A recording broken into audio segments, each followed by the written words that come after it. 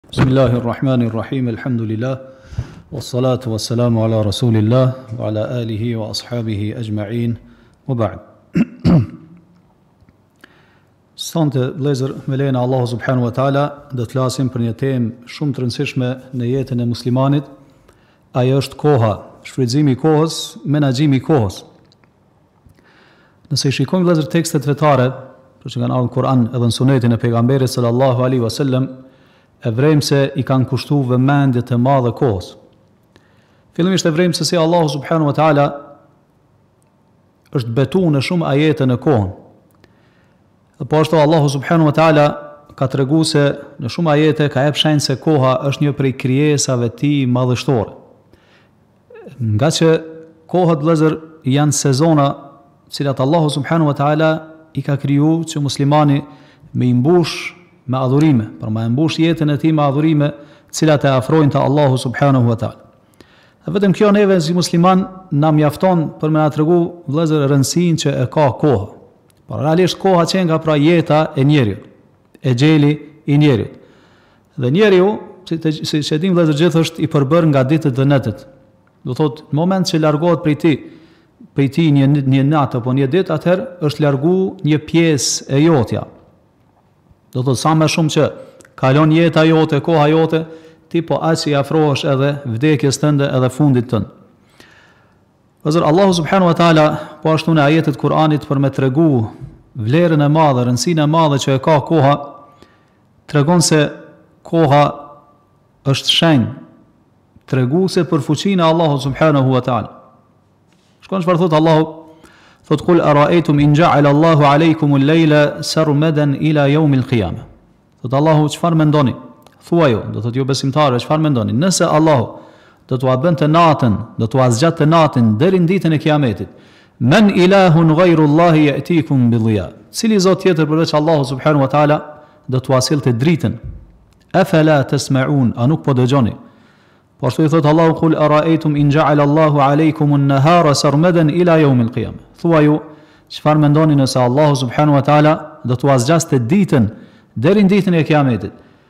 Men ilahun ghayru Allahi ya'tikum bi laylin taskununa fi? Cili zot tjetër përveç Allahut do t'ua sillte natën gjatë t'cilës ju pushoni? Afala tubsirun? A nuk po shihni? Pse ky shembull e ka sjell Allahu subhanahu wa taala këtë shembull madhështor për kohën, për me tregu fuqinë e Allahu subhanahu wa taala. Edhe për me na tregu se realisht kjo kohë vëllazër qenka jeta e njeriut Pra njeriu jeton mes natës edhe mes ditës, mes natës ku ai pushon, qetësohet dhe ditës ku ai del, gjallnon, punon për me fitu rrizkun në jetën e kësaj bote. Ajo çfarë vle, tjetër vëllezër që na tregon për vlerën e madhe që e ka koha, është edhe fakti se vetë Allahu subhanahu wa taala shumë adhurime vëllezër, të cilat ne i kryjm i ka ndërlidh me kohën, si në çështje të pastërtisë, si në çështje të namazit, si në çështje të zakatit.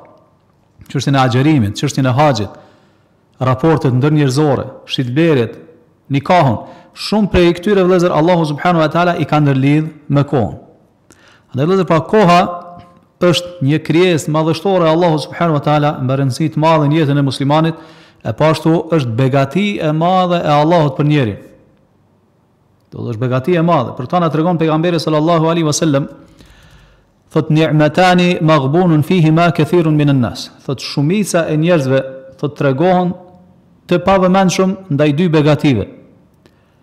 Apo me thanë mashtrohen, nuk i shfrytëzojnë dy begati. Ka thanë as-sihhatu wal-farag, shëndeti dhe koha e lirë, do thot mosangazhimi. Dhe pra është begati, po e vrejm se vetë pejgamberi sallallahu alaihi wasallam kohën po e qun si begati. Pse është begati? Sepse realisht do të thotë koha është jeta të cilën ti e jeton. Këto frymarrje që je duke i marr tani, kjo është jeta jote dhe është begati e Allahut subhanahu wa taala. Do të ekzistimi vëllezër i kohës në jetën tonë është begati prej Allahu subhanahu wa taala. Dhe realisht koha nuk ndahet prej te derisa njeri të vdes. Në moment që njeri vdes vëllezër, atëherë shkëputet prej tij edhe mundësia për me shfrytëzu kohën. Pse sepse mbyllet regjistri i veprave, edhe njeri s'ka mundësi më me shtu asgjë në veprat e tij, në regjistrin e veprave të tij të mira. Përderisa vëllezër është begati pra koha, edhe paska këtë rëndësi kaq të madhe, atëherë padyshim se kemi m'u marrë në pyetje prej Allahu subhanahu wa taala se si ne e kemi kalu kohën tonë.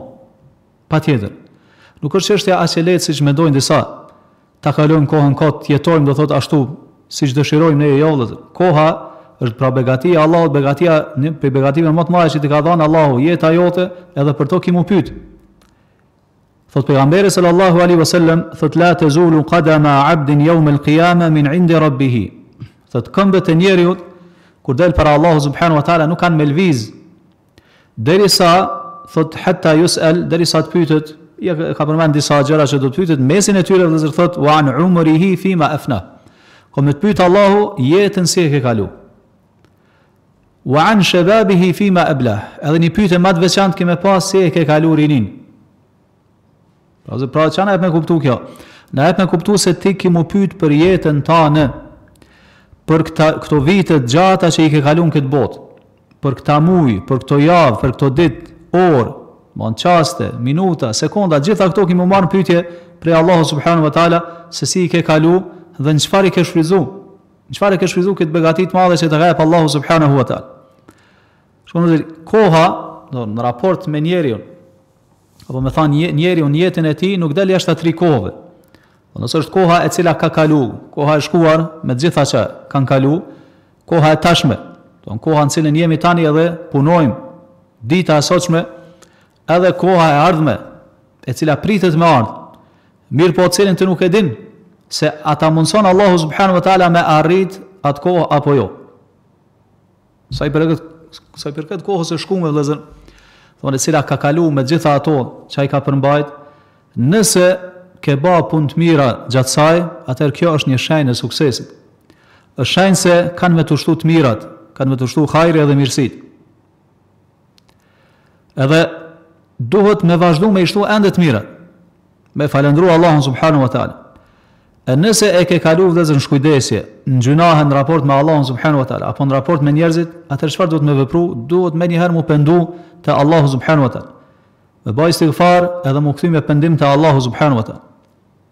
Kjo sa i përket kohës që ka kalu. Sa i përket kohës së tashme vëllezër. Siç thamë është dita të cilën ti je duke jetu. Çka duhet me ba? Duhet ti tash po e din çka po kërkohet prej teje. Çka ke obligim karshi Allahut, karshi robërve të Allahut, andaj angazhohu me to. Angazhohu me gjëra të cilat ty të afrojnë te Allahu subhanahu wa taala. Pra vëllezër prej gjërave të rëndësishme që ndërlidhet me këtë që e cekëm është Edhe se ne duhet të kemi të qartë vllezër që është koncepti i jetës. mos me mendu, ose mos me besu siç mendojnë disa se jeta është para, apo koha është para. Siç është e përhapur, në më në mesin e jobesimtarëve, mirëpo kjo është futë edhe tash në mesin e muslimanëve. Jeta, thonë koha, çka është para, të holla, gjana materiale. Ky vllezër është është botëkuptim i mangët, i cekët, Karshi kësaj begatie që ta ka jep Allahu subhanahu wa ta'ala. E pa dyshim që njeri kur e ka këtë botëkuptim lidhur me jetën, atëher nuk ka me përfitu shumë prej jetës. Kohës të cilën ta ka jep Allahu subhanahu wa ta'ala. Kur përfiton ti vlla prej jetës tane? Kur e kupton se koha është vetë jeta? Nuk ka të bëjë kurgja me gjanat materiale. Pse vëllëzër, sepse, shikon ti, mundesh me u mundu shumë me arrit deri tek të mirat materiale në jetën e kësaj bote deri te të hollat. Mirëpo ka mundësi që Allahu subhanahu wa ta'ala nuk ta lehtson me arrit deri tek to. Ti jep mund të madh, harxhon kohë të madhe, ndoshta e shkatrron shëndetin tan, mirëpo nuk mundesh me arrit, nuk don Allahu, po nuk, nuk ta lehtson arritjen deri tek ajo që ti e dëshiron. Dhe vllezër, ky nuk duhet me kanë botëkuptimi jonë si musliman, koncepti domethanë që duhet me pas na për jetën, për kohën, jo. Na duhet me ditë vllezër se koha është pikërisht jeta. Kur ta kuptojmë kështu, që është kuptimi i shëndosh, kuptimi i sakt, atëherë patjetër vllezër ky njeri që e ka këtë kuptim, ka m'u angazhu me adhurim ndaj Allahut subhanahu. Ka m'u mundu sa të mundet domethanë me mësu për fenë e Allahut subhanahu wa ta'ala me adhuru Allahun me shtu punë të mira sa ma shumë edhe me pas moral të mirë, sjellje të mirë me robërit e Allahut subhanahu wa ta'ala. Shumë vllezër Ibn Kajimi, rahimehullah, thot, viti, thot, është sikur pema, viti që i kalon njeri n'jetën e tij, dhe është sikur pema. Thot, muajt edhe ditët, thot, janë degët e pemës. Orët, thot, çastet që i kalon, thot, janë gjethet e pemës. Ndërsa thotë frymarrjet e njeriut thotë janë frutat që dalin prej asaj pemë. Thotë femen kanet enfasuhu fi ta'ah, andaj kushdo që i ka frymarrjet e tij në bindje ndaj Allahut, domethanë kushdo që lodhet edhe domethanë merr frymarrje në bindje ndaj Allahut subhanahu wa taala thotë fa thamaratu shajaratihi tayyiba. Atëherë edhe frutat e kësaj peme t'tij kanë me kanë të mira. Do thotë çka ka dasht me thanë vëllezër, frymarrja e tij me kanë n'bindje ndaj Allahut, do të mundi që ti e jep me kanë n'bindje ndaj Allahut subhanahu wa taala. Namaz, në dhikr, lexim Kur'ani. Adhurime të ndryshme që të afrojnë te Allahu subhanahu wa taala, lutje drejtuar Allahut. Namaz nafile. Po ashtu mbajtja e lidhjeve farefisnore, sjellja e mirë me prindërit, bamirësia ndaj tjerëve, gjitha këto vëllezër janë domethënë ato që rezultate të mira që dalin prej kësaj që po e thotë këtu Ibn Kajimi dhe dobitë e këtyre kemi me i përjetu në jetën e kësaj bote e padyshim se kënaqësitë e këtyre kemi me i shiju edhe kemi me i përjetu aty ku është më së më me rëndësi që është bota tjetër kur del para Allahut subhanahu wa taala. Thotë Hasan al-Basriu rahimehullah thoshte Jebna Adem innama anta ayyamun majmu'a. Thotë thotë thoshte o biri i Ademit, pra i drejtohet njerëzve, thotë ti je i përbërë nga ditët. Me thanë ti je një tërësi ditësh. Kulla ma dhehebe jomun dhehebe ba'du. Sa herë që kalon një ditë e jotja, sikur të shkëputet një pjesë e jotja.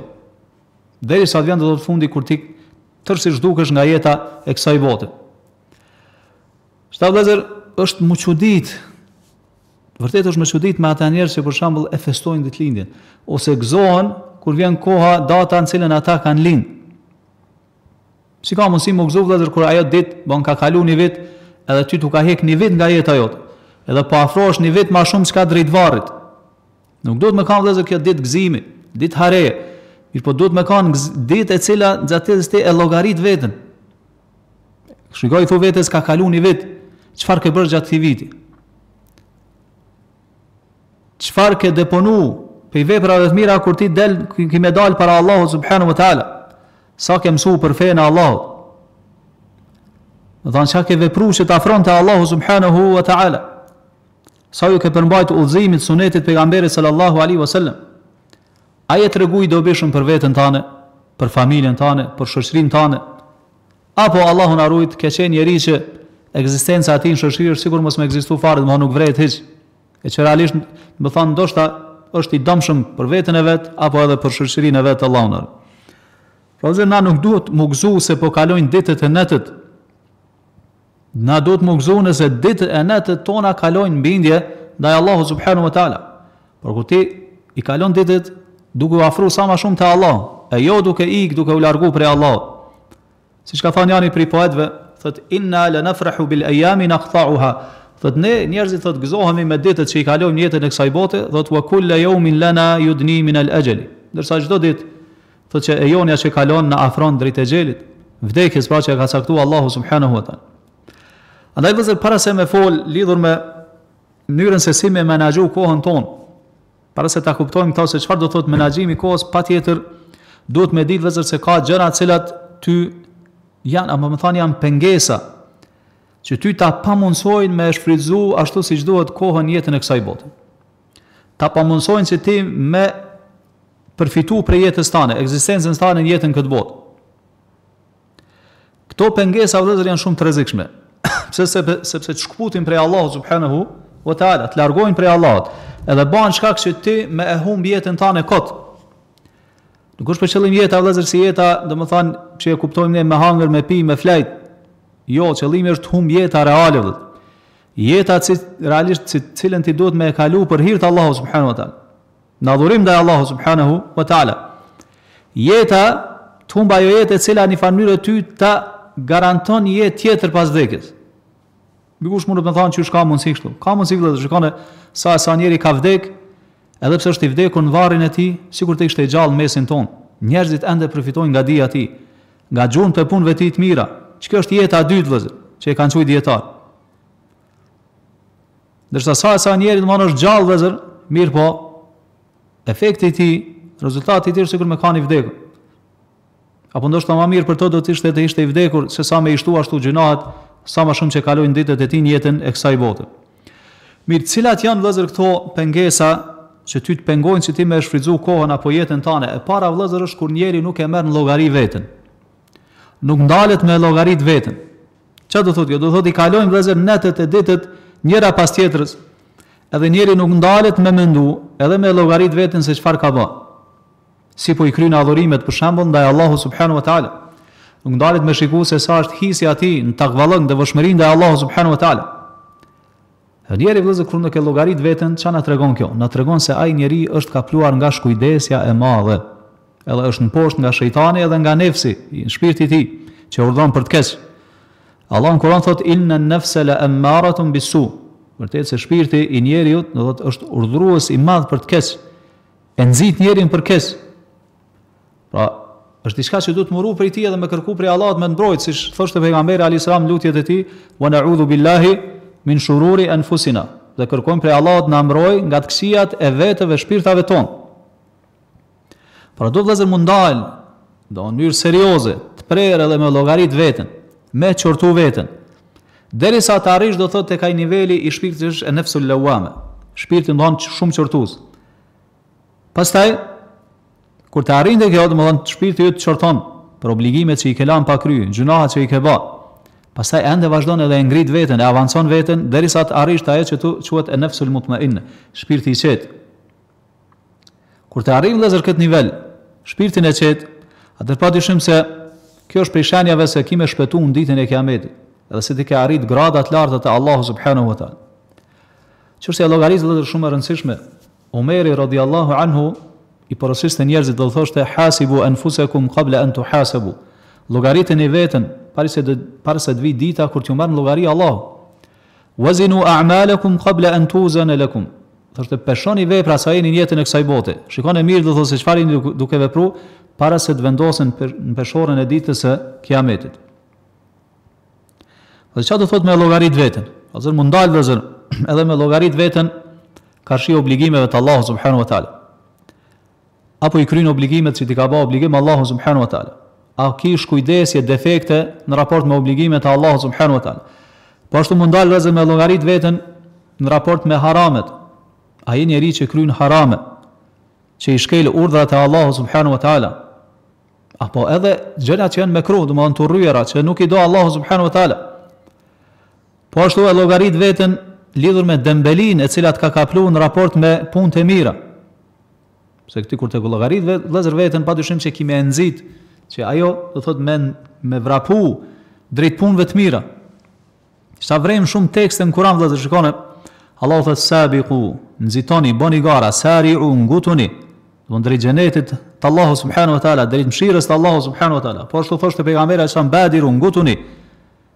Po sa ma shpejt vëllezër njeriu duhet m'u ngut me shfrytzu rastin edhe me punu punë të mira edhe m'u largu prej harameve.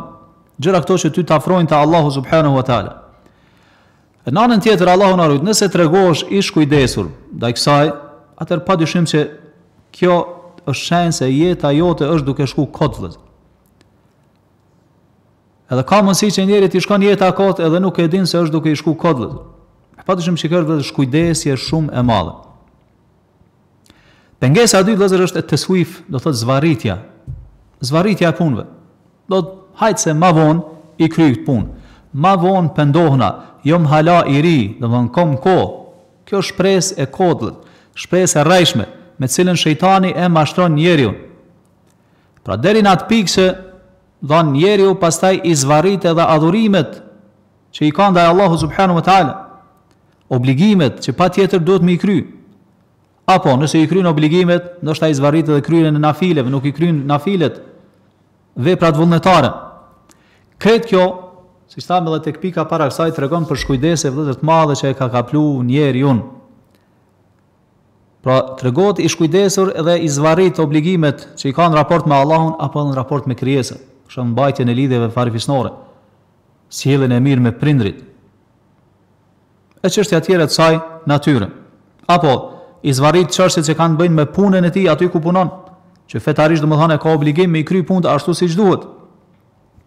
Apo e zvarrit edhe vonon çështjen e pasurisë, do thotë për shembull nuk e nxjerr zekatin që e ka obligim, nuk e shpenzon aty ku e ka obligim me shpenzu, që ja ka ba Allahu obligim. E pastaj gjitha këto, cila është rezultati, pasoja e kësaj, gjitha këto vëllezër i grumbullohen njeriut.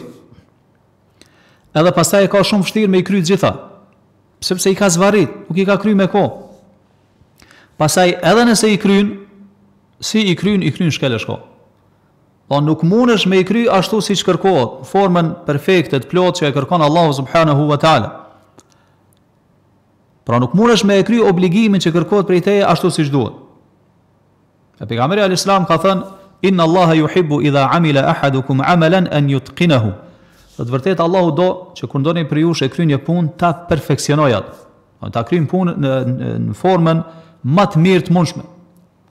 E çka do Allahi me kanë, që këtë perfekcionimi, kur ti e kryn kjo bjen ndesh tërsisht me qëta teswif, zvarritjen e punëve.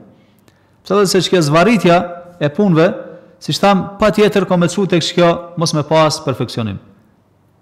Në moment që i zvarrit punët, dhije se edhe kur të krysh punët, nuk ki me kry ashtu qysh siç duhet. Kanë me kanë punë me defekte, qoftë në aspektin e adhurimeve, qoftë në aspektin e dunjallakut. Po kanë me t'u grumbullu punët, edhe njeriu pastaj i kryn shtu, shkel e shko. Andaj vllazër prej çështjeve që na si muslimanë, duhet m'u largu patjetër, nëse dëshirojmë me e pas, me pas menaxhim të saktë edhe shëndoshë kohës, është që ti çka mos me i zvarrit punët. Mirëpo punët me i kry menjëherë, çka kërkohet prej teje edhe në formën ma të mirë të mundshme. Pengesa e tretë vllazër është dembelia, edhe ftohja, Ftohja do të thotë në raport me punë të mira. Nuk ki vullnet, pavullneti. Mosvullneti. Shikoni vllazër, një gja e tillë është në natyrën e njeriut. Ba njeriu herë pas here, si krijesë e dobët e Allahut, kaplohet domethanë nga dembelia, kaplohet domethanë nga mosvullneti, nuk ka fort dëshirë ose vullnet me kry punë të mira.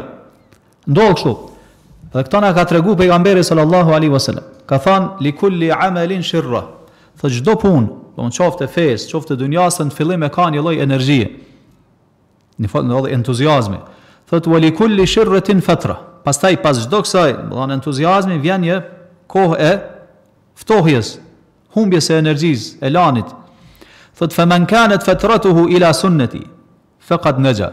Po shikoni thot, ai i cili qët kohën e ftohjes edhe dembelisë, edhe do të thotë mosgjallërisë, thot e ka e kufizon brenda sunetit tim. Thot ky ka shpëtu. Thot wa man kanat fatratuhu ila ghairi dhalik faqad halak. Ndërsa kush e ka dikun tjetër përveç sunetit tim, thot udhëzimit tim do thot, thot ai është shkatrru. Po çfarë po do me thanë pejgamberi sa po do me tregu se çdo punë, qoftë punë e dunjallakut, qoftë punë e adhurimeve ndaj Allahut, në fillim e vreni secili e ka një farë energjie shtesë. Edhe mezi s'pret domethanë me e kry. Mirëpo, mas një kohë fillon edhe ftohet. Mirpo po tregon këtu pejgamberi alayhis salam që që kjo ftohje vëllazër nuk duhet me kanë e tillë që fillimisht po tregon se është diçka normale me të kaplu kjo gjendje. Mirpo çka duhet me pas kujdes? Po tregon pejgamberi sa që kjo ftohje mos me kanë e tillë që ty të nxjerr jashta pasimit të pejgamberit alayhis salam. Çka do thotë kjo? Gjatë kësaj kohe kur ti nuk ki bash shumë vullnet me kry punë të mira, siç që ke kry ma herët, mos me ra vëllazër në harame. Me pas kujdes po. Mos me i kundërshtu urdhrat e Allahut subhanahu wa taala. Mirëpo çështja është që ti sillesh aty afër sunetit pejgamberit alayhis salam nuk del jashtë atij. Nuk del jashtë udhëzimit fetar. Do thotë me thjeshtësu, i ke dy punë për shembull, njëra është më e vlefshme, tjetra më pak e vlefshme, ti sillesh ashtu mes këtyre dyjave. Do thotë edhe nëse s'munesh me e kry atë që është shumë më e vlefshme e kryen këtë tjetrën. Mirëpo jo me shku me kry pastaj çka gjynahët. edhe me i ba gjunah Allahu subhanahu wa taala. Sepse nëse del jashtë këtyre kornizave që po i tregon këtu pejgamberi alayhis salam, atëherë patjetër që ke me pas defekt. Si trajtohet dikush mund të më pyet vetëm kjo lloj ftohje, kjo lloj mos vullneti. Janë disa pika edhe që duhet me i ndërmarrë. E para dhe më e rëndësishmja është që me kërku ndihmë prej Allahu subhanahu wa taala. Vazhdimisht. Sidomos me fjalët la haule wala kuwete illa billa. Tjetra o vëllezër me e lut Allahun subhanahu wa taala sa më shumë. Lute Allahun, sidomos në kohët kur pranohet lutja, që Allahu me të forcu. Edhe e treta vëllezër me i marr shkaqet. Me i marr shkaqet, me i largu shkaqet të cilat ty të sjellin dembeli. Po ashtu vëllezër me lexu në biografinë e brezave të parë të muslimanëve. Si kanë qenë sahabët, shokët e pejgamberit alajhi selam si kanë qenë tabiinët, tabi tabiinët. Imamët e mëdhaj të fesë, si ishte udhëzimi i tyre në raport me me urdhrat fetare, si ishte metodologjia e tyre, domthonë si largoheshin ata prej kësaj dembelie, si ishte ajo gjallëria dhe fuqia e tyre në raport domethënë me adhurimin ndaj Allahut subhanahu wa taala. Njeri kur i lexon vëllezër ngjarjet e tyre mendon se janë vetëm mite. Dhe nuk mundet me besu se njeriu Mundet me kry aq shumë adhurime ndaj Allahut subhanu wa ta'ala për një kohë aq shkurt, apo mundet me ba vepra të tilla madhështore, edhe pse ka qenë njerëz sikur ai. Mirëpo pse vëllezër njerit i duket kështu? Sepse ai e krahason gjendjen e vet me gjendjen e tyre. E pastaj kur e bajmë këtë krahasim, padyshim vëllezër që është krahasim jo me vend. Se aty na shfaqet, domethënë, ai njeri e krahason domethënë fuqinë e tij, vullnetin e tij me vullnetin që e kanë pas ata. E ky është padyshim krahasim vëllezër jo jo në vendin e duhur. Çështja e katërt vëllezër që neve na pengon mos me shfrytëzu kohën, apo me thanë mos me shfrytëzu jetën tonë, është kur ne jepemi shumë mas gjërave halal. Shikoni, s'po them mas harameve, mirëpo jepemi shumë, angazhohemi shumë me halal. E teprojmë në halal. Kjo është vëllezër një pikë që ta humb kohën, Një çështje që ta humb kohën, jetën kot, edhe po ashtu ta ngurcon zemrën. Po ashtu siç ta ngurcojnë zemrën gjynahet, po ashtu ta ngurcon zemrën dhe kur edhe ti kur jepesh shumë mas gjanave që janë halal. Kjo vëllezër bën që ti me i tejkalu kufijt. E po ashtu ka mundësi që ti me ra pastaj edhe në haram. Edhe pse, duhet me pas qartë se ajo që është halal vëllezër, Nuk ka të keqe njeri me e kry. Mirëpo, kur qortohet njeri, njeri vëllezër, kur ai e tepron, kur ai zhytet së tepërmi edhe në gjëra që janë halal. Kjo siç thamë, të angazhon, të shpërqendron, edhe të bon që koha edhe jeta me të shku kot. Edhe mundet vëllezër çka me kalimin e kohës kjo me dëmtu n'farzet e Allahu subhanu wa ta'ala, apo adhurimet vullnetare, edhe siç thamë, ajo që është ma e randë, se adhurimet vullnetare mundet me të shti në haram, Allahu na ruajt. E pesta vëllezër është prej pengesave, kur ti si musliman nuk e ki të qartë synimin tond n'jetë, Domethënë ec në jetën e kësaj bote, jeton. E jeton jetën sikur të tjerë, mirëpo nuk e ki qartë se çfarë dëshiron nga jeta jote. Do thotë, nuk i ke caktu vetes çka plane, nuk ke planifiku. Nuk e ke vendos atë synimin, objektivin tond drejt cilit ti ec. Pa marrë parasysh është në aspektin e dijes, apo në aspektin praktik të veprave, apo përmirësimit të vetes, apo përmirësimit të tjerëve. Pra ec ashtu në jetën e kësaj bote pa e pas qartë se çfarë dëshiron. Njeri pra, një farë mënyre është, si me thanë kështu, pasues kështu fanatik i tjerëve, vetëm i imiton tjerët. E sheh tjetrin çfarë është duke ba, edhe ai e vepron ashtu. E sheh tjetrin se është duke ecë pa planifikim në jetë edhe ky vazhdon e pason ashtu mënyrë të verbër. Kjo vëllezër është argument i humbjes, është argument i dështimit në jetën e kësaj bote. Një person i cili e çon jetën kështu, në këtë mënyrë nuk mundemi me thanë kurrë se ky njeri e ka planifiku vëllezër jetën e vet. Apo ky njeri po planifikon me shfrytëzu jetën edhe kohën ashtu siç duhet. Pra nuk e ka të qartë vëllezër synimin e në jetën e tij të kësaj bote. E padyshim që humbja vëllezër e synimit, humbja e qëllimit është diçka që nuk mundesh kurrë me e gjet në jetën e pejgamberit sallallahu alaihi wasallam. Shikon në jetën e pejgamberit alejhi selam prej kur e ka dërguar Allahu subhanahu wa taala si pejgamber e deri sa ka vdek sallallahu alaihi wasallam e vren se krejt jeta e tij vëllezër ka qenë e qartë, synimet i ka pas qarta, e ka pas qartë çfarë po dëshiron. Edhe pastaj ka planifiku, edhe i ka rendit objektivat e tij, synimet e tij, gjanat, domethanë ato që janë ma prioritare. Edhe pasi i ka vendos planet, ashtu ka ec n'jetën e tij. Kjo është dhe që kjo është menaxhimi i kohës që duhet na me pas si musliman, me pas kohën e organizume, jo ashtu shkel e shko. E gjashta vëllezër, pengesa e gjashtë është kur ti si njeri angazhohesh me gjëra që nuk të hyjnë n'punë, Kjo të bën që jeta me të shku kot. Pejgamberi alayhis salam ka thënë min husni islami al-mar'i tarkuhu ma la ya'ni. Prej islamit të mirë të njeriut është kur njeriu angazhohet për po islamit të mirë të njeriut është kur njeriu i braktis, do po nuk angazhohet me gjëra që nuk i interesojnë. Do thot Po do me tregu këtu Pejgamberi alayhis salam që ajo çka të tregon se islami yt është në rregull, stabiliteti yt në fe është në rregull, është kur ti i braktis gjana që nuk të interesojnë. Do të thotë, nuk futesh në ato gjana që nuk kanë bajnë fare me ty. Qoftë në adhurimin ton, qoftë në jetën tane, qoftë në familjen tane, fmijt e tu, punën tane, për të risa e në tila, atër pëse vlezër më hynë to edhe më angazhumët. Andaj vëllezër nëse ti angazhohesh me to, atëherë çka mun me kanë rezultati i kësaj? Ato kanë me të angazhu nga gjërat që ty të interesojnë. Do thotë, nëse angazhohesh me punë që nuk të interesojnë, dije se qato punë që nuk të interesojnë kanë me të shpërqendru nga gjërat që ty të interesojnë, edhe janë në interesin ton. do thotë kanë me të largu prej obligimeve të Allahut subhanu wa ta'ala. Me marrë një shembull ma të thjeshtë të shikojmë një, një, me thanë shtu një, një defekt me të cilin janë prekë sot shumica e njerëzve, me përjashtim të atyre që i ka mëshiru Allahu subhanu wa ta'ala. Om, e, ndjekja e rrjeteve sociale, ndjekja e lajmeve, domethanë pa ndonjë kontroll vëllezër. E sheh njerin bon ton ditën e çon duke i përcjell lajmet. Çka ka thon filani, çka ka thon filani. E kjo vëllezër duhet me shiku prej këtij aspekti. Çka është dobia e kësaj? A po të intereson aq shumë kjo? A po të intereson diçka për një, a po përfiton diçka prej kësaj ti në jetën tane apo jo? A po ta forcon imanin ton? A po ta forcon lidhjen tane me Allahun subhanu wa ta'la? A po të ndihmon kjo që ti me kry obligimet? Apo punët e mira? Pa dyshim vëllezër që nuk është e tillë. Andaj, braktise, leje. Sepse nëse nuk e braktis, atëherë dije se ke me pas defekt në adhurimet e tua, ke me pas defekt në obligimet ndaj Allahut subhanehu ve teala. E po ashtu defekt edhe në punët nafile që janë vullnetare padyshim.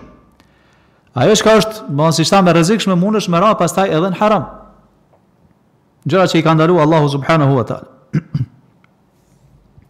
Pra vëllezër, duhet njeri me kanë koprac, me thanë shtu për kohën e vetë, do të thotë koprac ndaj jetës vet, edhe me me kanë i përkushtum që mos me e çu jetën e tij dom.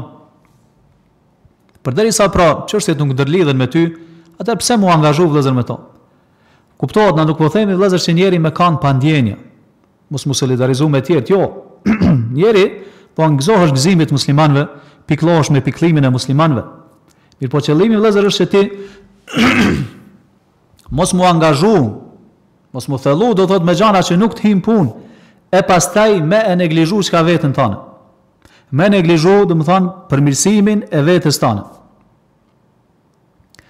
Se vëllezër, realisht nëse ndalemi edhe e shikojmë, do siç thamë atje tek pika, pika e parë, që na nuk e llogarisim veten tonë, kjo është defekti i parë, nëse ndalesh edhe llogarit veten tane, ki me vrejtë se nuk ki kohë m'u marrë me dikon tjetër përveç ka vetes tane.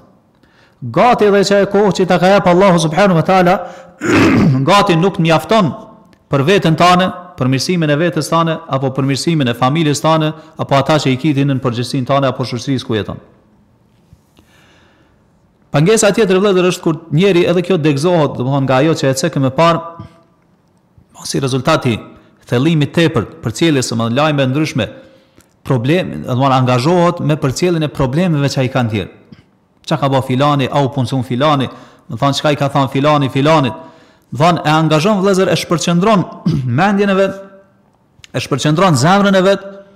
Edhe pastaj, mos si rezultat si pasojë e kësaj, padyshim që ki me pas defekt në obligimet që duhet me i kry për Allahun subhanahu wa taala.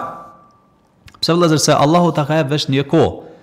Po e ki veç një jetë, e ki veç një zemër, e ki veç një mendje. Nuk mund është domethën me i nda këto dyja. Don me një mendje mu fokusu në punët e tua, e me një mendje mu marr domethënë ose me një kohë me punët e tjerëve. Kjo është e pamundshme vëllezër. Allahu thot: "Ma ja'ala Allahu li rajulin min qalbayn fi jawfi." Allahu nuk ka bërë që ndonjë njeri të ketë dy zemra në gjoksin e tij. Dhe kështu thot Allahu në Kur'an.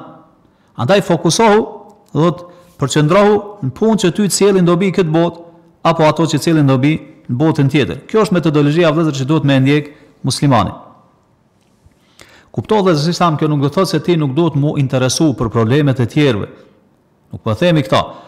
Nëse kanë domethënë ato probleme janë të tilla që duhet me i dalë në ndihmë dikujna, duhet me ia zgjatë krahun dikujt, qoftë në aspektin fizik, qoftë në aspektin material, atëherë duhet mu marrë me ato probleme se kjo kërkohet prej teje si musliman. Mirëpo qëllimi vëllezër është që ti mos mu angazhu me gjana që ty, ato nuk të interesojnë edhe nuk ki dobi në to sepse kështu e humb jetën tane edhe kohën tane. Pika tjetër vëllezër, pengesa tjetër është gjumi i tepërt. Një smundje do me thanë kështu smundje me thanë kështu bashkëkohore. Pa dyshim që na e dimë, vëllezër, se njeri ka nevojë për gjumë. Trupi, mendja e njerit ka nevojë për pushim, për relaksim edhe për gjumë. Mirëpo, siç thamë atje vëllezër që angazhimi me punë halal është pengesë, po ashtu themi edhe te gjumi, edhe pse në origjinë është halal, kur teprohet, atëherë bahet pengesë që ti me e shfrytzu jetën tane ashtu siç duhet. Shikoni, njeri për shembull i cili flen, hajde me marrë, po supozojmë gjysmën e ditës e kalon në gjumë. Pra sa i ka dita 24 orë, themi se ky person 12 orë për shembull flen. Nëse ky njeri vëllazër kish me jetu 60 vjet. Sa i bjen që ky ka çu në gjumë? Po gjysmën e jetës tij, Allahu na ruajt. Po 30 vjet që ka të kanë shku në gjumë. Po nëse i shikojmë dhe statistikat, vëllezër, flasin, po në që njeri në që jeton, po në 70 deri në 80 vjet, nëse flen gjatë jetës 7 deri në 8 orë, 20 vjet shkojnë veç gjumë. Shikoni vëllezër, 20 vjet nga jeta i ki krejt pa kurrfarë shpërblimi. Pastaj, ku janë tjera angazhimet tjera, angazhimet familjare, pastaj nevojat tjera që i kryen njeri. Gjitha këto marrin pjesë prej jetës tane. Sa po t'jet për adhurimin e Allahut subhanahu wa ta'ala? Sa vite po t'jesin? Pastaj shikoje kohën prej kur ke lind deri në pesëmbëdhjetë vjet, parafërsisht ti nuk je i obliguar çka me obligime fetare. Shikoni sa pak vite njeri i kalon në adhurim ndaj Allahut subhanahu wa ta'ala. Sa, vëllezër, nëse i shikojmë, domethanë, brezat e parë të islamit edhe dijetarët e mdhaj, vërejmë se kanë lanë shembuj madhështorë, edhe paksa të çuditshëm ndoshta për neve, se si duhet me u shfrytzu koha. E kemi rastin, domethanë, pejgamberi sallallahu alaihi wasallam, domethanë që është pa dyshim imami, prijësi i të gjithëve në shfrytëzimin e kohës,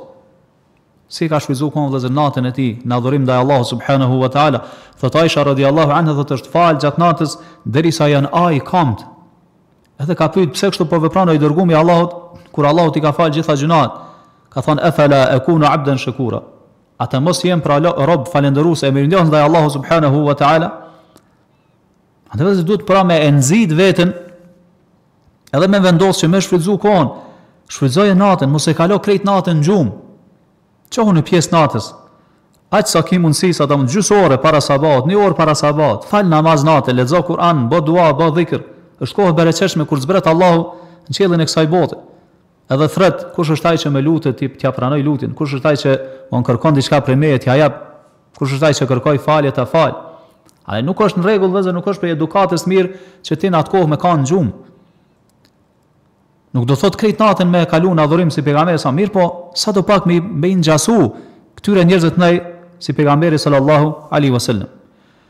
Shikoni, njëri prej dijetarëve, El Khalil ibn Ahmed El Farahidi, u kanë një dijetar i madh i gjuhës arabe, edhe domon autori i shumë librave të dobishme në gjuhën arabe, ka thanë inna athqal as-sa'ati alayya sa'atan akulu fiha. Thot momenti ma i vështirë për mua thot është momenti kur më duhet me hangër bukë. Shkon, për neve është e kundërta. Momenti më i mirë për neve është kur shtrohet buka apo. Mezi s'presim. Sidomos kur njeri çka është i unt. Ky po thotë momenti më i vështirë për mua është kur shtrohet buka. Pse thotë se unë duhet e di që patjetër duhet me hangër bukë, edhe di pastaj që qajo kohë më kalon më shkutet prej jetës tem, edhe nuk muna me shfrytëzu çka në shkrim apo domethënë najë dobi me lexu apo çfarëdo qoftë. Po ashtu dijetari i madh Ibn Aqil el-Hanbali që është autor i librit El Funun, që sipas dijetarëve dikun e ka shkru 100 vëllime, disa kanë thënë 800 vëllime. Përmendet vëllezër për këta që domethënë një farë mënyre nuk i ka pëlqy edhe fakti që duhet me e përtyp bukën. Po, çka shumë e ka shfrytzu kohën? Po, ju ka dokë se është diçka që po i merr kohë çka së tepërmi. Andaj u mjaftu me disa ushqime kështu të buta, me të cilat s'ka pas nevojë me përtyp, mirëpo vetëm ashtu i ka pi sikur ujin. Po ashtu ky tregon për veten e vet thotë, unë thotë e shkruaj meselen, çashtën diçka, çashtje të fesë, shkruaj thotë, hulumtoj, studioj.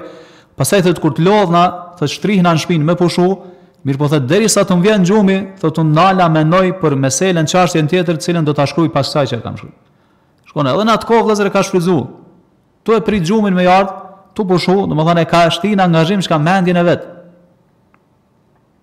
Për atë arsye vëllezër nuk është e çuditshme prej kah kanë ardhur domethënë këto rezultate të mëdha prej këtyre njerëzve të mëdhenj. Pse se e kanë shfrytëzu vëllezër jetën e tyre në maksimum. E na dim vëllezër se shpirti është i tillë që thrret që të thrret drejt komoditetit, rahatisë, dembelisë, thrret shpirti drejt gjumit. Thrret shpirti që me i shtu domethënë kënaqësitë në jetën e kësaj bote. Nuk ka të keqe vëllezër që ti me i shfrytëzu ato me ja jep ato, mirëpo duhet me kanë me sasi të caktuar vëllezër. Me kanë të kufizume. Jo me ja jep ato me ja mundësu shpirtit e pastaj me e dëmtu ahiretin tonë. E po ashtu jo me kanë të tilla që ty të shpërqendrojnë nga dobitë, interesat këtë botë apo të ahiretit tonë. Pika e nëntë vëllezër është kur ti prej defekteve pra që i kemi në shfrytëzimin e kohës, menaxhimin e kohës kur njeri nuk i rendit gjërat që i ka prioritare në jetën e kësaj bote. Po patjetër vëllezër duhet të kemi të qartë se çka është më prioritare e çka është më pak prioritare në jetën e kësaj bote. Nëse ti nuk i rendit gjërat, nuk e din cila është më e rëndësishme se tjetra, atëherë patjetër ka me të humb koha. Patjetër që me shku jeta dam.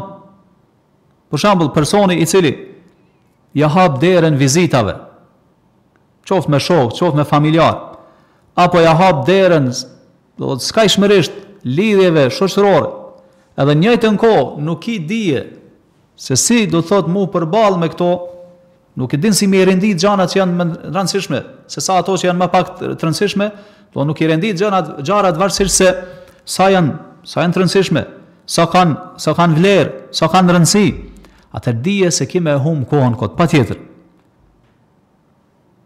Vëllezër duhet me ditë se obligimet e kanë vendin e vet. Gjërat e pëlqyeshme e kanë vendin e vet. Mbajtja e lidhjeve që e ke obligim e kanë vendin e vet. Mbajtja e lidhjeve që janë vetëm të pëlqyeshme jo obligim e kanë vendin e vet. Kështu duhet me i rendit gjanat vëllezër. E jo me i ngatru pastaj. Se pastaj e humb kohën.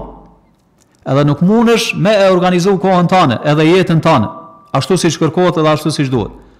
Don të kalon jeta, edhe pastaj befasohesh do të thotë se si sa shpejt ka të kalon koha, edhe e ke çu, e ke dëmtu veten, nga që e ke çu kohën dëm, edhe kot. Shumë njerëz kështu veprojnë. Don shumë shumë shumicën e kohës ndoshta e kalon, siç tham, gjana që janë në origjinë halal, edhe e tepron to, e pastaj befasohet do të thotë se e sheh se i ka kalu koha pa përfitu diçka.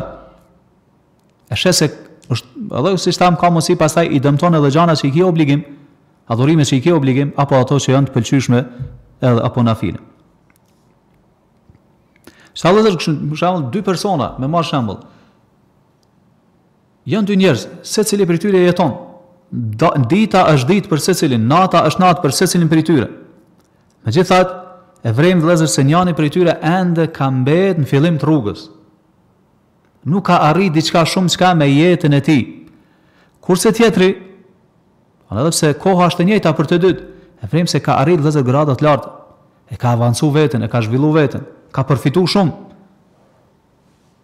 ka lexu shumë, si në aspektin fetar, si në aspektin e dunjallëkut. Kryen punë të mira që afrojnë te Allahu subhanehu ve teala, kurse tjetri ende ka mbetë vëllezër aty ku ka qenë. Krejt kjo kthehet vëllezër te ato defekte që i përmendëm deri me tani. E kryesorja prej tyne e para që thamë se nuk e merr njeri veten llogari, nuk i shikon pasojat e harxhimit të kohës kot. E dhjeta vëllezër edhe e fundit prej pengesave është kur njeriu ndikohet nga rrethi. Ata që e rrethojnë. Qoftë domethënë shokët e tij, qoftë familjarët e tij, Edhe siç thamë atje, te një pikë para kësaj përmendëm se është njeri që nuk ka karakter të vetën, domethënë kështu të pavarun, mirëpo i imiton njerëzit. E sheh tjetrin që ai po e çon kohën kot, thotë hajde edhe unë domethënë sikur ai po e çoj kohën ashtu. E sheh tjetrin domethënë që nuk po bën gjëra që i sjellin dobi në jetën e vet, edhe ai e pason ashtu çka verbërisht. Pa i shikuar domethënë siç thamë pasojat. Andaj vëzë kjo nuk është në rregull. Bon shkone një një send duhet me pas parasysh në këtë pikë në këtë pikë vëzë. Ajo është që në ditën e kiametit. Edhe nëse ti e ke pasu dikon ashtu, dije se ai kur gjë s'ka me sjell dobi. Kurgjo s'ka me sjell dobi. Madje, shikoni çfarë thot Allahu, jeume jefirrul mer'u min ekhihi, wa ummihi wa ebihi, wa sahibetihi wa benihi.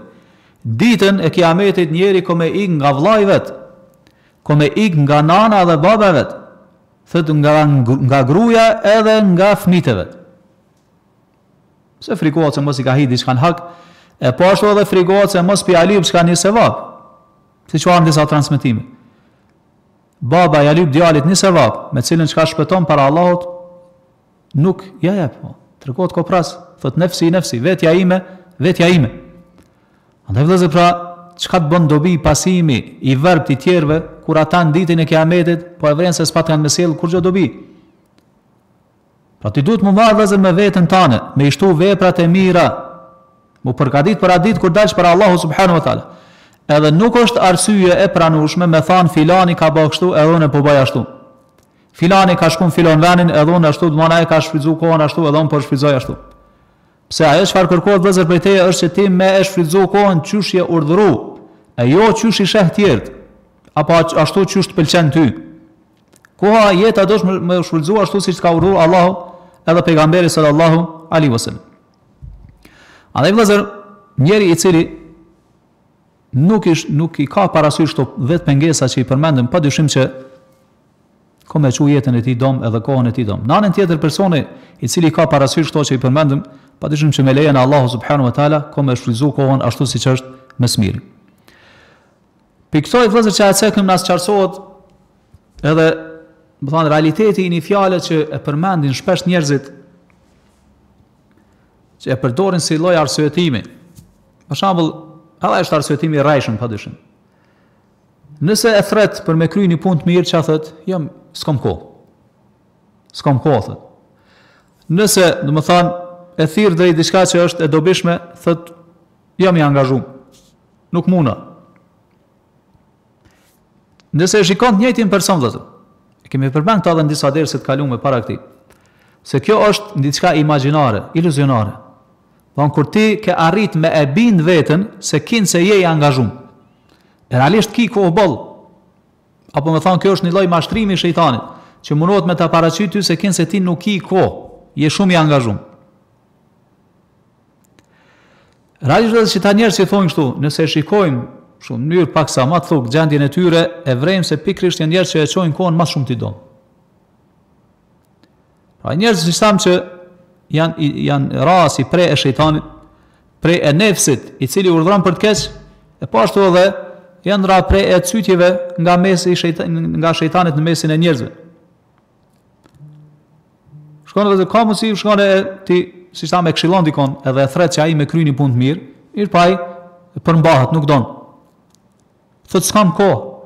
Nuk nuk mund me ardh me krye atë punë të mirë. Për shembull, hajde shkojna e falim një xhenaze, se ka vdek për shembull dikush, e përcjellim xhenazen ose hajde shkojna prezantojna dikun në një ligjëratë fetare, çka thotë s'kam kohë.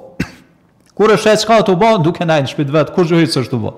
Po veç rrin, pin çaj. Kurgjo nuk bën po. Do të thotë ka kohë sa dush. Mirëpo shikoni vëllezër se si do thotë e mashtron veten se kinse çka nuk ka kohë.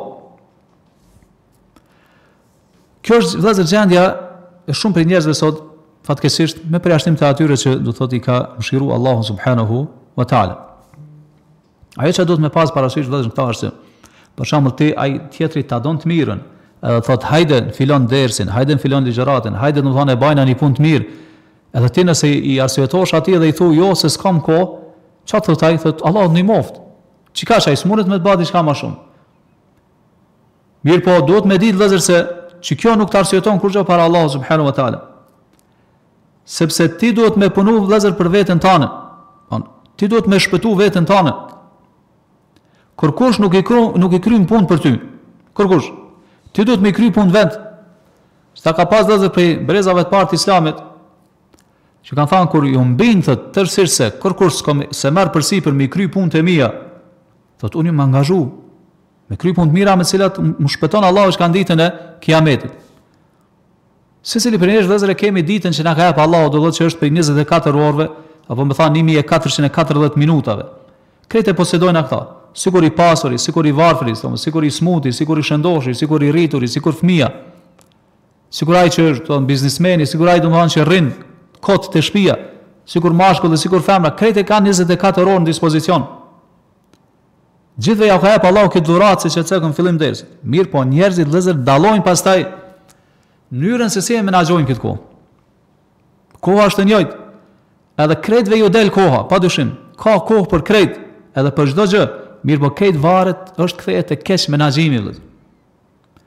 Nëse din me menaxhu kohën si duhet, atëherë pa dyshim që E ke shfrytëzuar ashtu siç duhet edhe jetën tënde. Mirëpo siç thamë njerëzit dallojnë, kanë dallim të madh vëllezër sikur qielli dhe toka në menaxhimin e kohës. Pra vëllezër kur flalim tash për menaxhimin e kohës, kjo ka të bëjë vëllezër me atë që e quajnë dijetart njeri me e menaxhu realisht veten e vet, punët e veta edhe adhurimin ndaj Allahut subhanahu wa taala. Do të thotë me shfrytëzu kohën, me mbush kohën me gjëra që të afrojnë te Allahu subhanahu wa taala. Kuptohet vllezër njeri nuk mundet me kanë gjithmonë kështu, se nganjëherë shfaqen disa gjana që janë jashtë vullnetit tonë. Pra nuk mundesh gjithmonë me i pas gjanat ashtu të rregullume, të sistemume, me, me pas në menaxhim, se nga nganjëherë ndodhin gjana të papritshme. Del naj udhëtim, del naj smundje, naj angazhim familjar, çfarëdo qoftë. Mirëpo megjithatë vëllezër shikoni personi i cili e ka shprehi me menaxhu kohën, me organizu kohën, posa të heket ajo pengesë, çka menjëherë i kthehet jetës që e ka pas ashtu. Pra menaxhimit kohës. Ndërsa problemi vëllezër ku është ai problematika apo çështja domethënë që që shkakton problem është se është tek ai person i cili kohën e kalon vëllezër pa e menaxhu. edhe e humë, siç thamë, kohën e tij kot. Shikoni, vllezër, njerëzit sot kur folin lidhur me menaxhimin e kohës, i ndajnë çështjet, doman ato çështjet që duhet me u ndalë njeri edhe me i pas parasysh, i ndajnë në katër grupe. Thonë janë çështjet që duhet me i kry njeri shpejt, edhe që janë të rënsishme. E dyta, grupi i dytë janë çështjet që duhet me i kry shpejt, mirëpo nuk janë edhe aq të rënsishme. E treta thotë janë të tilla që nuk janë që kërkojnë mu kry shpejt, mirëpo janë të rëndësishme. Mirëpo mundesh me i kry dotht çka pas pas një kohë. Edhe e katërta thotë as nuk janë që duhet me i kry shpejt, edhe as nuk janë diçka që janë të rëndësishme. Po.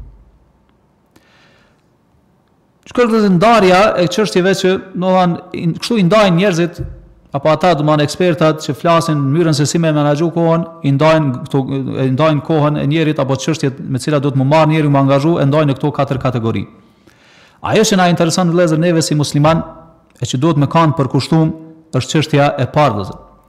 Doman çështjet që janë ngutshme që duhet me i kry menjëherë edhe që janë të rëndësishme. Shembull namazi. Menjëherë duhet me kry vëllaz. Është shumë e rëndësishme në fe. Nuk ka aty ngesje prapa, nuk ka zvarritje. Siç e vrejmë vëllazër, në moment që thirret ezani, shejtani mundohet çka njerin me e angazhu me gjana me cilat mundohet me e largu prej kryerjes namazit. Mirëpo ti çka nuk duhet vllezër m'u dorëzu, duhet me kanë këmbëngulës, edhe që sa me llogarit veten.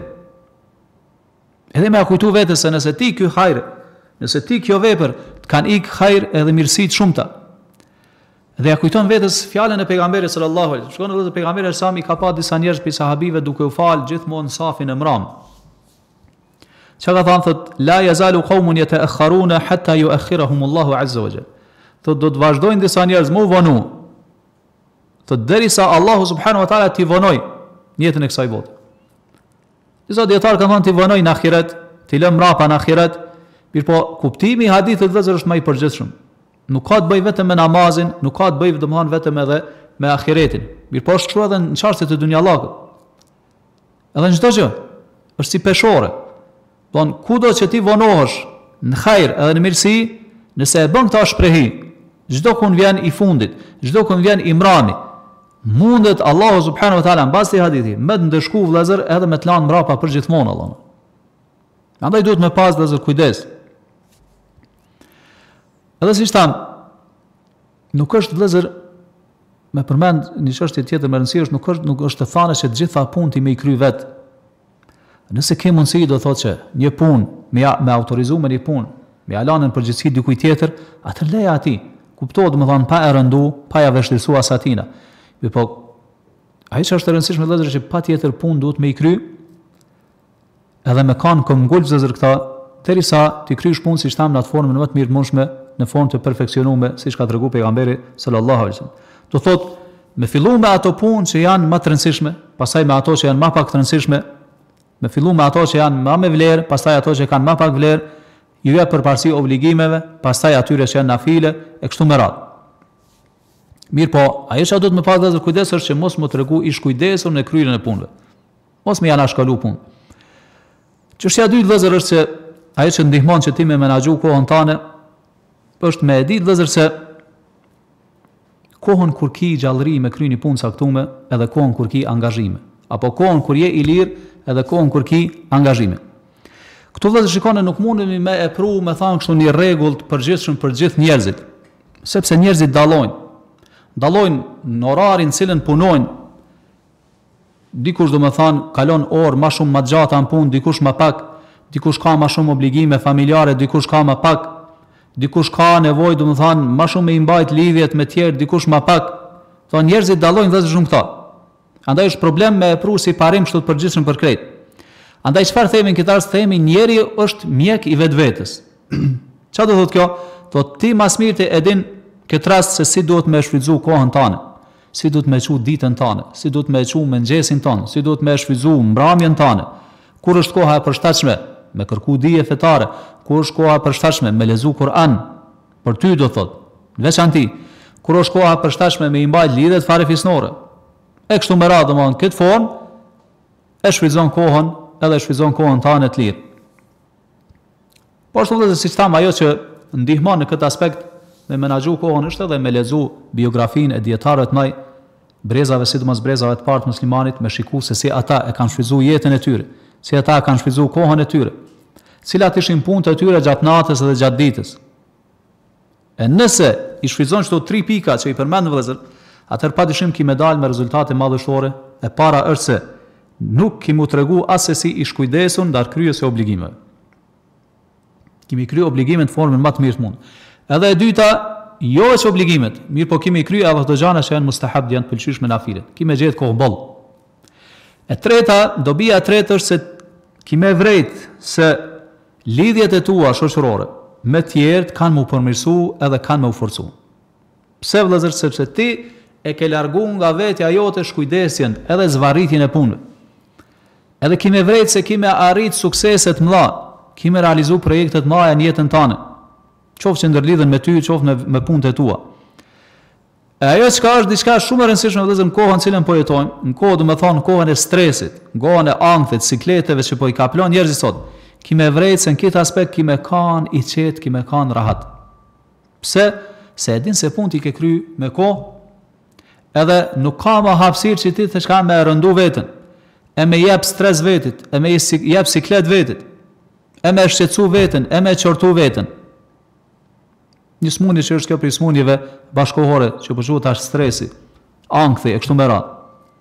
Pra, i ke kryer obligimet, ato që kërkohen prej teje, si në raport me Allahun, si në raport me krijesat, po ashtu i ke kryer ato që janë vepra të pëlqyeshme, e ke shfrytëzuar kohën ashtu siç kërkohet prej teje, çfarë është rezultati i kësaj? Ke me pas shpirt të qetë vëllezër. Nuk ke me pas stres, nuk ke me e qortu veten, nuk ke nuk ke me u hidhëru edhe me u zemru me veten tane. Rezultati tjetër vëllezër madhështor që është po ashtu prej kësaj është se edhe raporti yt me të tjerë, siç thamë, ka mu përmirësu. Pse, se kur je ti i qetë në veten tane, atëherë pa dyshim edhe ki me kanë i qetë edhe në raport me njerëzit që i ki ma të afër, me bashkëshorten tane, me fëmijët e tu, me fqinjët e tu e kështu me radhë. Ki me jetu jetë domethënë ma të qetë, jetë, domethënë pa pa shqetësime, pa ankthe, pa siklete, pa strese, ki me pas zemrën e hapun e kështu me radhë. E kjo pastaj ta mundson që edhe adhurimin kur e kryn vëllezër, ndaj Allahut subhanahu wa taala me e kry me zemër të qetë dhe me shpirt të qetë. Po ashtu vëllezër prej çështjeve edhe me këtë po e përmbyllim që duhet me pas parasysh në menaxhimin e kohës apo me thanë shfrytëzimin e jetës tane është që me e pas para vetës me thanë kështu një shport, nuk po themi mbeturinave apo me thanë një shport një kosh kështu të gjanave që janë të parëndësishme në jetën tane. Sa herë vjen diçka e parëndësishme e gjunë në atë shport. Është si shprehje kështu me thënë kështu metaforike. Do thotë çfarëdo që nuk ndërlidhet me ty, diçka që nuk duhet ti m'i kushtu fort vëmendje, diçka që mundet me të shqetësu, edhe me të shpërqendru prej atyne objektivave që ti ke caktu në jetën tane, e hedhë në at shport. Nuk merresh me to. Pse vëllëzër, se nëse ti ja lejon vetit me të tubu këto gjana, Këto ditë pas dite vëllezër tubohen, ditë pas dite tubohen. Edhe zemra jote, mendja jote, shpirti jot është domthon ma e vogël hapësira se sa që mundet çka me i përballu këto. Edhe pastaj kështu domthon çka e brengos veten, e pikllon veten, i shkakton vetit çka shqetësime edhe pikllime të panevojshme. Andaj vëllazër duhet me e msu një fjalë shumë dobishme e që është jo. Me thanë jo, aty ku duhet me thanë çka jo. Me thanë më fal, nuk muna me e kry një punë, kur ti nuk munësh përnime me e kry këtë punë. Mirëpo me ditë ku me thanë çka në kohën e përshtatshme, në vendin e përshtatshme. Ki me e vrejtë se nëse e shtin në shprehi, shprehi, do me thanë, bon shprehi këtë fjalë, Edhe nuk ngushtohesh me e thanë këtë fjalë, kur përnime nuk munesh me e kry një punë, ki me kanë rahat vllezër, ki me pas ma pak stres, edhe ki me arrit çka me e organizu veten tane, edhe jetën tane, edhe ki me kanë ma shumë i përkushtum ndaj vetes tane. Pse ka njerëz që e shikon ai për shembull vjen Ai është vetë që nuk e shfrytëzon fare kohën, nuk e organizon fare kohën. E çon jetën e tij çka dam edhe kot. Edhe pastaj mundohet që çka me përfitu prej kohës tane. Edhe mundohet me shfrytëzu çka jetën tane dhe kohën tane. Mirëpo siç thamë ti duhet me kanë vllezër koprrac në jetën tane. Edhe ti kuptohet, i ndihmon aq sa ki mundësi. Mirëpo jo me e ngarku veten vllezër së tepërm. Andaj i thu arsyetohesh me fjalë të mira, me fjalë të buta edhe i thu jo, edhe kështu vazhdon do të thotë në ato planet e tua që i ki për jetën tënde. Kuptohet, disa vëllezër prej kësaj përjashtohen prej këtij rregulli, siç është për shembull bamirësia ndaj prindëve, prindëve patjetër duhet m'iu përgjigj çfarëdo që kërkojnë prej njerit, madje ka ardh në hadithe që edhe nëse je duke falë namaz nafile, nëse të thret prindi, duhet me ndërpre namazin edhe m'iu përgjigj. Mirëpo, tjerët përveç prindëve, do të thotë, vepron me ta ashtu siç e dëgjuat. Po vllezër përmbledhtas me thanë, diçka që nuk të sjell dobi në jetën tane, apo në dunjan tane, je i përkushtum që mu largu prej saj, ndërsa ajo që të sjell dobi në dunjan tane, në jetën tane, përkushtohu që m'e zbatu atë në jetën tane. A vllezër, me përmbyllë këta që e thamë, duhet me sjellë ndër mend vllezër një çështje shumë të rëndsishme, siç thamë ai një person i cili Shikon jetën e dijetarëve islam, shikon se si ata i kanë mbushë bibliotekat muslimane me libra e libra të njëpasnjëshëm e të shumtë të llojllojshme në shkenca ndryshme. Për shembull, e sheh një dijetar i cili ka shkru një libër në 30 vëllime, tjetri 40 vëllime, tjetri ma shumë, tjetri ma pak. Tjetri sheh se ka shkru dikun 500 libra, tjetri 1000 libra, tjetri 100 libra. Pse vllezër ka ka ardhë kjo? A mendoni se kjo, domethënë kjo, kjo ka ardhë si rezultat se ata nuk e kanë shfrytëzu jetën e tyre? Pa dyshim se jo. Krejt kjo vllezër ka ardhë si rezultat i asaj se ata e kanë pas jetën e tyre të organizume. I kanë pas qarta objektivat që i kanë në jetën e tyre. Kanë ditë se si me menaxhu kohën e tyre. Përndryshe, do të ishte vllezër e pamundur. Po përmbyllim vllezër me dy fjalë, t'Ibn Kaimit, rahimahullah, që na tregon për rëndësinë e kohës. Thotë Ibn Kaimi rahimahullah, thotë humbja e kohës është më e randë se sa vdekja. Thotë sepse kur njeri e humb kohën kot, thotë kjo e shkput prej Allahu subhanahu wa taala edhe prej botës tjetër. Ndërsa thotë vdekja, edhe pse është shkputje, thotë është shkputje e përkohshme. Ndërsa humbja e kohës pra të shkput prej ahiretit ku është jeta e përjetshme. Po ashtu vëllezër thotë Ibn Kaimi rahimahullah, edhe kjo është një çështje shumë e rëndësishme prej këtij dijetarit të madh, thotë kur Allahu thotë ia don të mirën robit vet, thotë i ndihmon në kohë. Thotë edhe bën që koha me kanë në shërbimin e tij. Pra të jep çka bereqet në kohë.